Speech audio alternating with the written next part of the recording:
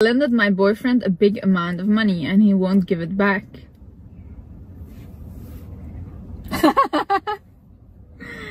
I just don't want to laugh, but like, what what are these money questions? You guys keep uh Are wait, are women giving men princess treatment these days? yeah, they are. But I also feel like men are very good at being women. Honestly, I feel like men really get like princess treatment. I, fe- I They're very good at. You know who's really good at getting princess treatment? Gay men. Gay, Gay men. have the game on lock. No woman has done it like gay, men. Gay men. men get treated The the, best, best. by other men. I swear to God. Yeah. I've never seen someone so spoiled as a gay man mm-hmm.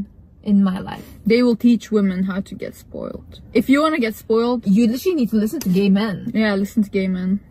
Gay men need to start a YouTube channel